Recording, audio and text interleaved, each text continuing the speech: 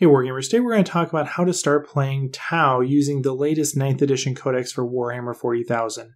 Now, whether you are a veteran 40k player or brand new to the hobby, now is a fantastic time to start playing Tau. We got a brand new codex, it's got really strong rules, and those rules are internally balanced in a way that there aren't a lot of bad choices. So, no matter what you want to play, you're probably going to get a good game out of it. So, that's fantastic. And that also means that you can make the army play a lot like it's presented in the lore, in the books, in uh, the art. And so you get the experience that you would want to get out of this army with this new rule set, which is really fantastic. That's not the case for every army. That's not the case for every codex. So uh, this is a really great element for people that are interested in playing Tau. Now, how do you actually start doing that? Well, if you're a veteran 40k player, you know you need the core rulebook. You know you need dice and rulers and all that sort of stuff, right? Uh, but if you're brand new to the hobby, make sure you start off with that, right? You need to understand the system. You need to have the rules down in order to actually get a game in. But once you have that, you also need the new codex make sure you pick up the new one, the one that's shown here, not the older versions, things that look different than this, because those uh, are out of date and not going to be useful to you. So make sure you pick up a brand spanking new codex. And then, of course, you need models. You need an army to actually play with. Now, which models you are going to pick up probably depend a lot on what you want to get out of your hobby, right? Do you want to spend more time painting and just getting a few casual games in? Are you looking for something that's going to be relatively cheap but still get some models on the table? Or are you looking for something that's going to be much more competitive in the long run and give you a good foothold in a tournament scene? So, regardless of what your goals are, we are going to talk about three different paths forward for you if you are looking to start Tau, particularly looking at what you should get, some potential 1000 point army lists.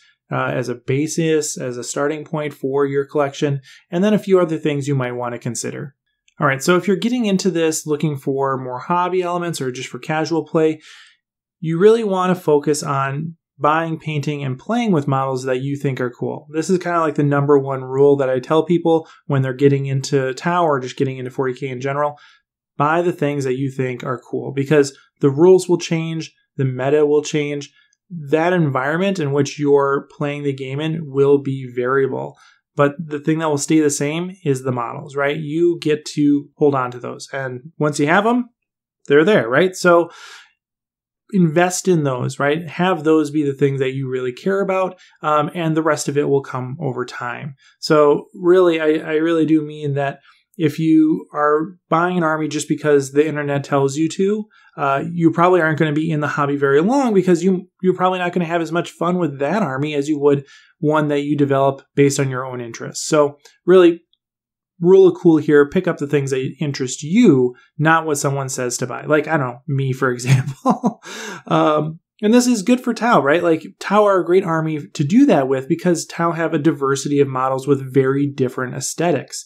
So we have our infantry, uh, like this guy here. This is Darkstrider. Uh, he kind of gives you a general idea of what a, a typical Tau looks like. Um, we have battle suits, which are you know mechs that they pilot.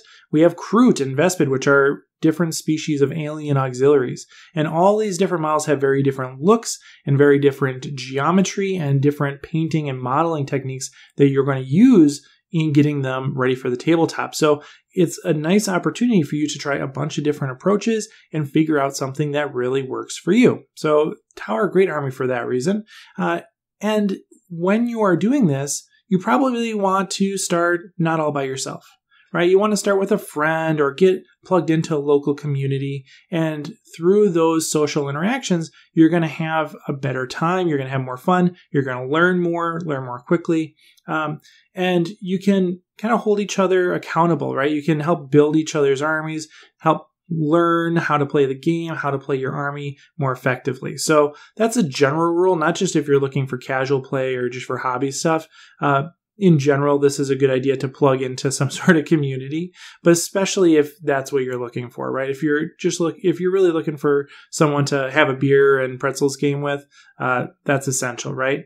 And then if you are looking for maybe a little bit more of a, of a competitive side too, you can plug into things called escalation leagues where a bunch of people start a brand new army at the beginning of the league and build that army over time. So it's a good way to get experience with a new army, uh, get experience with a new rule set, but do so in a way that everyone's coming into it with a little bit of the same background, right? They're they're all new to something, which is really useful. Uh, so you don't walk into an environment where you just get stomped right away because someone has been playing for 20 years and you're brand new. So escalation leagues are really cool like that. And of course, more generally, you can tap into online resources, right? You can find that community through Discord or Facebook or Reddit or whatever, uh, Instagram right? Those are all great resources or to see what other people are doing, talk to other people about what you're doing, and ask questions. Uh, we have a invasive wargaming Discord if you want to join us down there. That's a great community. But there are also you know generalist Tau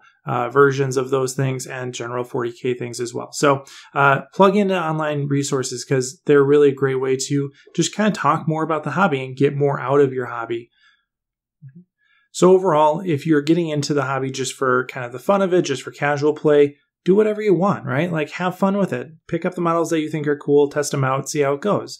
Like, that's the best way to get into the hobby. That's the way that most people, I think, enter the hobby is doing that, and there's nothing wrong with it. So, pick up what you think is cool, have some fun. That's a way to get into the, the hobby, especially if you're just looking for some beer and pretzels games. Now, if you're looking to start off a little bit more in the middle of the road where you're getting a pretty functional force, but you're not spending as much money as you might need for a like really cutting edge competitive list, uh, you might want to do something like this. So I'm recommending that if you're looking for that middle of the road approach, you pick up one of the Tau Empire combat patrols. This includes a Ghostkeel, a unit of stealth suits, a Fireblade, an Ethereal, and a unit of Fire Warriors. It's the new kind of intro box for Tau. It's it replaces the Start Collecting box uh, with this thing, and uh, you know it's it's a good deal if you're looking to pick up these models. So you do get some savings. That's why it's the basis for this type of approach. Uh, but then on top of that, you want to pick up a unit of Crisis Battle Suits, uh, a box of Kroot Carnivores, another box of Fire Warriors, and then a Commander.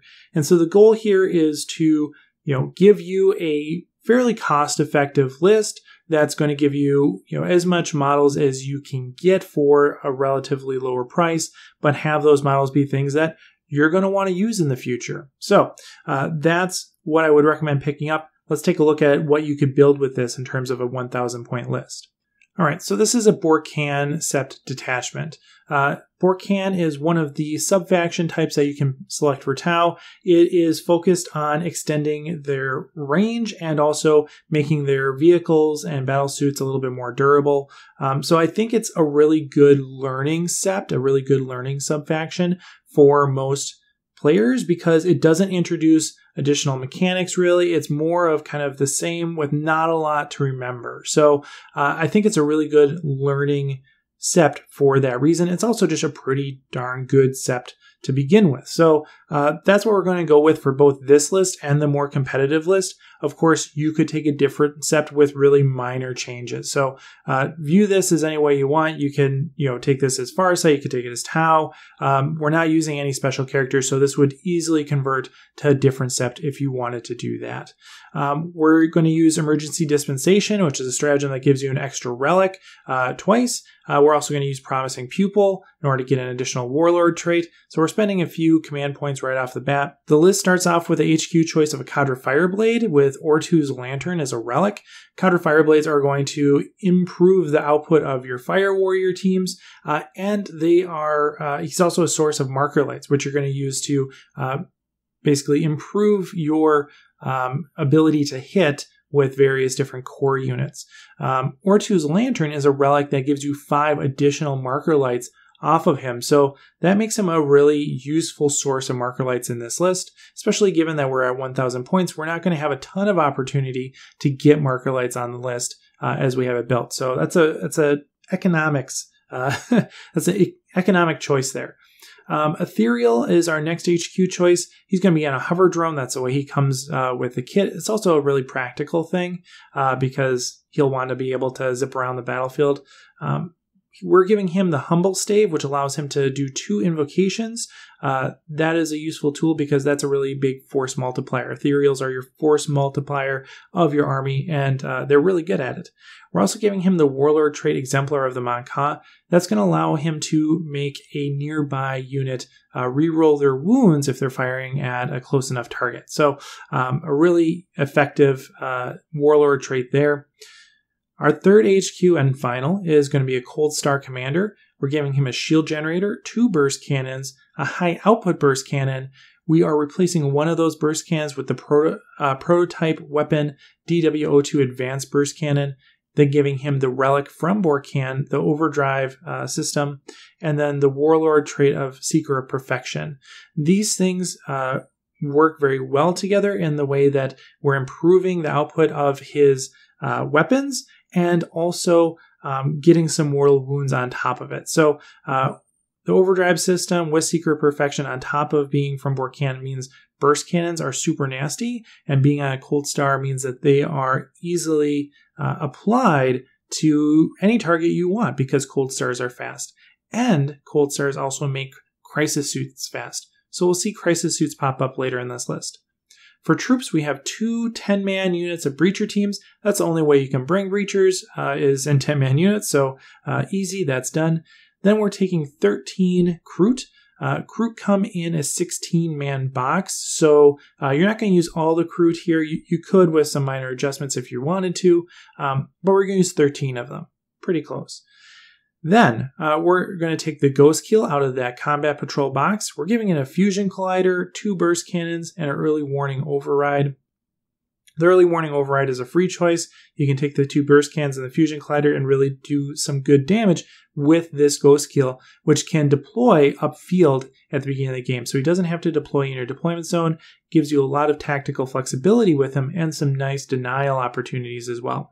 We're also going to take the stealth suits from the box. Stealth suits on Bork'an are really uh, durable. Uh, because they are battle suits, they are pretty hard to remove from the tabletop. So having just a three man unit is still a nuisance. And they have burst cans like a lot of the uh, battle suits in this list, and they are going to be uh, able to put out a fair amount of damage, especially if you select the Mont'ka tactical philosophy. So at the beginning of the game, after uh, you determine who is going first, you get to select your tactical philosophy, either Mont'ka or Cao Yun. Mont'ka is the favorite of the two. It allows you to uh, count as uh, staying stationary in the first three turns of the game if you moved, uh, for shooting purposes, that is. And you also get uh, better AP and improved wounding uh, from Mont'ka as well. So it's a really effective uh, tactical philosophy, especially at close range, which stealth suits are also, like the Ghostkeel, able to achieve by deploying upfield early on. So uh, they are going to be really effective at getting that uh, boost to their output uh, right on right at the beginning of the game. We're giving them two marker drones as well. Marker drones again are providing marker lights, which we're using to uh, improve the chances of hitting with various units in this list. So marker lights here uh, is a nice little boost. And then we get to the crisis suits. And the crisis suits are really your heavy hitters of the list. They are each equipped with a burst cannon, a plasma rifle, and a fusion blaster. Um, again, burst cannons with Mont'ka, very effective. Plasma and fusion are just inherently punchy weapons. They're one shot weapons, but they do a lot of damage when they get through. So, um, we're covering a, a, few different bases here, a highly functional uh, set of crisis suits here. Uh, we're giving them two marker drones and three shield drones. Shield drones are going to be able to soak up some damage for them, make sure that they stay on the tabletop longer. Two of those crisis suits are going to have shield generators, uh, giving them an invulnerable save. And then we are also going to be taking an early warning override on uh, the Sergeant or the Shas'vre model here. He, that's going to allow them to overwatch for free. They still have to use the stratagem, but they don't have to spend a CP. Um, and then we are going to take an iridium armor on one of the Shas'ui, one of the non sergeant models that also will have a shield generator. So, uh, giving them a little bit extra durability here. The iridium armor makes their um, armor save a 2 up instead of a 3 up. So this list is designed to have a very aggressive first couple turns. You're looking at your crisis suits, your cold star, uh, your Ghostkeel and stealth suits all being very aggressive units at the beginning of the game. Bre- breachers as well will want to do that. Um, you could easily switch these out for strike teams so you have a little bit more range. You don't have to do as much movement with your breachers. Uh, but either way, uh, it gives you a pretty good basis here um, with some cost savings by using the combat patrol box. That's really the, the overarching design element of this list is how to use the combat patrol box, uh, but do it in a way that you're actually going to have some good support for it and some overall positive outcomes from the list. And I think this is a fine middle of the road list for that reason. All right, and then our third option is for someone that's looking to get into competitive play pretty darn quickly here.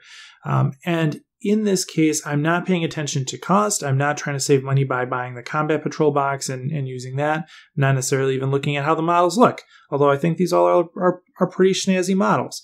What I am looking at is a list that I think has a lot of components that will be staples of many competitive builds, both now, right after the Codex, but moving forward. So, this is kind of a future proof set of models, something that you will likely see useful for a long period of time in a diversity of builds. So, with that said, uh, it is a little bit more expensive, right? So, we're about $100 more expensive than the kind of middle of the road list that I started off with just a moment ago. Um, but uh, I think it is a little bit more punchy. So we're looking at picking up a commander here, an ethereal, which you can buy in a little in a little blister pack, right? Uh, then three boxes of fire warriors that can be either built as a strike team or a breacher team. Two devilfish. If you wanted to, you of course could pick up hammerheads here instead. If you pick up the hammerhead box, it can build the skyray, it can build a hammerhead, and it can also be used as a devilfish. So depending on how interested you are in saving money that way, you certainly could, but the Devilfish is available as its own box too. So uh, you can pick two of those up. You can have Pathfinders, and then uh, this list is going to use some weapon loadouts that are not readily available based strictly on the contents of these boxes. Uh, so I'm going to be using something called a cyclic ion blaster. That's a weapon that is only available in the commander box. So you'll either want to hit up eBay or find some third party vendors to buy something that you can at least call a cyclic ion blaster. Or you know what, if you're just if you're just kind of real cool in it, proxying it, just say, hey, this other thing, I'm going to count that as a cyclic ion blaster too. Totally cool if you're starting off. Not cool if you're looking to go to GT, uh, GT or RTT or any type of organized event. So uh, if you're looking to get into competitive play right away and you want to use cyclic ion blasters, make sure that you are paying attention to that as you start building your suits. All right, again, this is a Bork'an battalion detachment. Again, Bork'an, I think, is a really good learning sept. It's also pretty darn effective. So um, we're going to go with that. Uh, we're using emergency dispensation one time here for an extra relic, and then promising pupil again for just one extra warlord trait. Again, we have the Ethereal and Cold Star returning. I think they're very good choices. You could go with a Crisis Commander. Crisis Commanders are also very good, or an Enforcer. there three. Those are two other types of Commander battlesuit. They all have slight variations on their stat line and the things that they do, but the general theme is that they are providing rerolls uh, via the Master of War aura, and also uh, buffing your Crisis suits directly in various ways. I like the Cold Star because it makes your crisis suits go zippy zippy fast. And that's a really useful thing, especially in a smaller point game where the board is less crowded. So I like the Cold Star. Besides, it looks killer. It's a very cool model. So uh, we're going with Ethereal on Hover Drone. Again, it has the Humble Stave, allowing us to use two invocations instead of just one. Um, and then we are giving him the Exemplar of Mont'ka again, allowing him to uh, give rerolls to wound. For the Cold Star, we're giving him a shield generator, a plasma rifle this time, um, a high output burst cannon, and then we're giving him another burst cannon and uh, upgrading it to the prototype uh, DW02 advanced burst cannon. Uh, then we're also giving him the overdrive system and then Seeker Perfection again. So, same deal. I think that's a really good Cold Star loadout. Uh, but of course, there are many different Cold Star builds that you can take for about the same price. So again, this is a this is a place where you could customize a list based on how you're uh, enjoying it, how you want to play, for very little difference in the points cost of the model. So one of the nice things about the current codex is that you can get very similar builds um, in terms of price that function very differently. So that is a really nice component of list building because you can easily switch things out and that's true here too. Um, I'm returning with two breacher teams and a strike team, both of those breacher teams are going to start off in two devilfish that I have purchased down below. Um, that's going to allow them to get up the board very quickly. And I can use a stratagem called combat debarkation to get out of my devilfish after it's moved. So that's going to allow them to be very aggressive and benefit from Mont'ka and use their pulse blasters, which are best at a very short range. So the Breacher, Devilfish, Mont'ka, uh, combat debarkation stratagem combo is killer, and uh, we're going to use it here. I also have a unit of 10 strike teams, or 10, 10 fire warriors and a strike team. Uh, these are the longer range ver- variants again, and they're going to be able to function outside of a devilfish uh, more effectively. You also have some different stratagems that you can use with the strike team, allowing you to be more efficient in your uh, stratagem economy. Then we're going to pick up 10 Pathfinders. Pathfinders are going to be our source of marker lights here. Uh, that's why we don't have uh, things like Ortu's Lantern or anything like that. We have a whole unit of Pathfinders, and they are going to have two rail rifles. Uh, rail rifles are nasty little weapons that can uh, do some mortal wounds, uh, but then Pathfinders themselves are an excellent source of marker lights too, because they can um, they can move and perform the marker light action in a way that no other unit can. They start the marker light action at the end of the movement phase and therefore have better visibility to their targets. Uh, that's not something that you see for other source of marker lights like marker drones, for example. And so Pathfinders are really useful in that way. Then we get to our workhorse unit of crisis battle suits. Again, this is going to be a three man unit because that's what comes in the box. And we're using cyclic ion blasters on all three of them. You'll have one from the Cold Star, but you'll want to pick up two more in order to make this work. We're giving each of them a cyclic ion blaster and then a plasma rifle and a fusion blaster. The plasma and fusion, though you'll have plenty of those based on the kit, so don't worry about that. Then we have two marker drones here, uh, three shield drones in order to give the unit a little bit more durability. Uh, two of those battle suits are going to have target locks, allowing them to ignore cover, uh, ignore light cover. And then uh, one of them is going to have a shield generator. That one that has a shield generator, one of the Shas'ui, is going to also have iridium armor. So he'll have a two up, four up uh, save giving them a pretty decent amount of durability between that uh, iridium armor suit and the drones. Plus, they'll have a lot of output. Uh, that cyclic ion plasma fusion combo is very deadly for anything toughness 5 or more, and so they'll be able to do a lot of work for you, especially at a thousand point game. It's going to be hard to get them off the table. And so that's the uh, more competitive list, I think. Again, it's not going to win a GT, mostly because GTs happen at 2,000 points, not uh, 1,000 points. So, but um, I think it's a basis for a lot of competitive builds that you could build later on. Before we go, a couple things I want you to keep in mind. One is that the old box sets are a really good deal. So if you're just starting off and you go to your local game store and you're able to find an older box set, uh, in particular the start collecting boxes, buy it.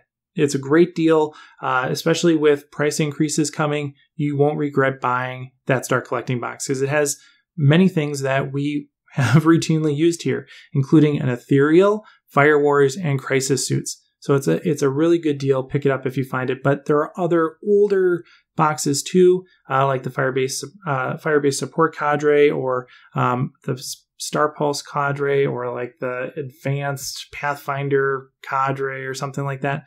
Um, like lots of different variations on many of the units that we spoke about here. So they're generally a good thing if you can find them, um, but they're out of production. So good luck.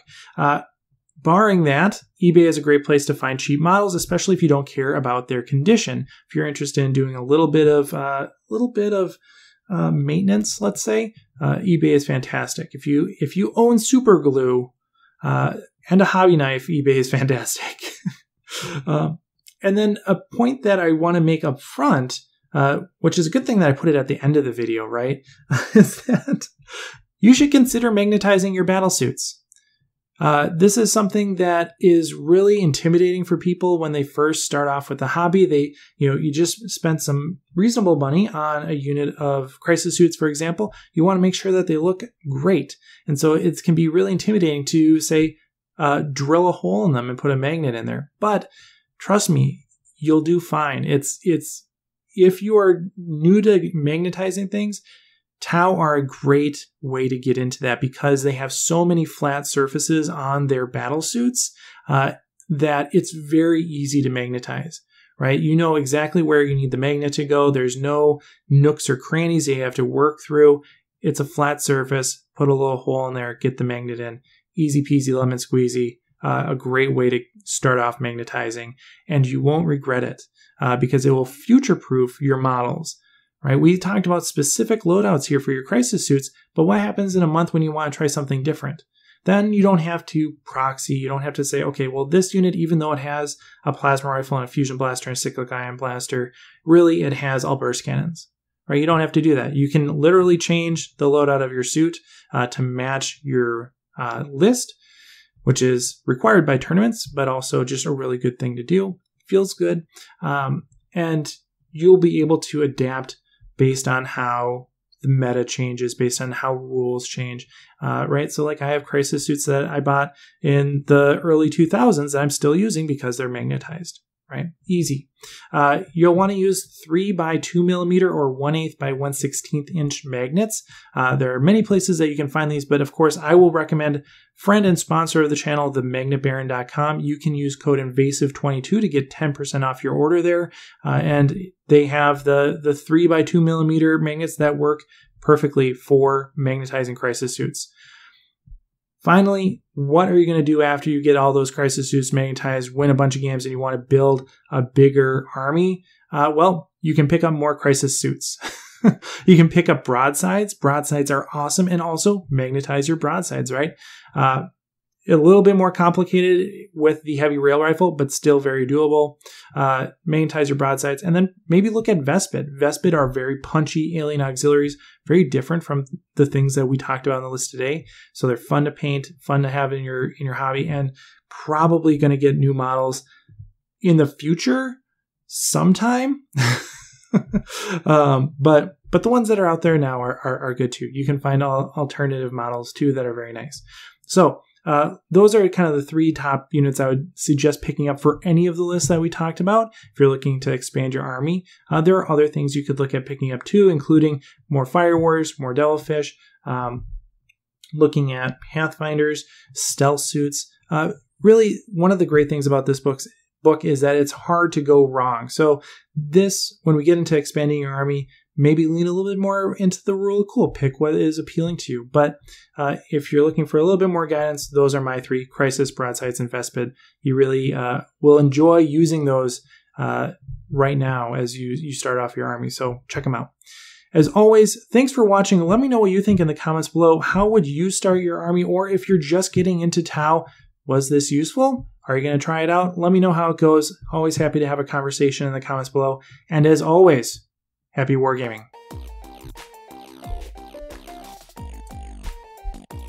Hey everyone, thanks for watching. A while ago I made my own miniature. If you are interested in showing your support for the channel on the tabletop, you can pick one up either on Etsy if you're in the US or directly through me worldwide. Special thanks to our sponsor, the Magnet Baron, and also all the good folks over on Patreon, especially Mate Monk, Marcy, A Little Pink Monster, Benny Jones, Durza, Ever Keller, Robbie Goodwin, Jose Gomez, Ruger, Drew Pratley, Michael Byrne, Zealous Brinstone, Scott Heater, Stephen Cowan, Jared Egler, Chris Kessler, Tau Oswell, and Shifty.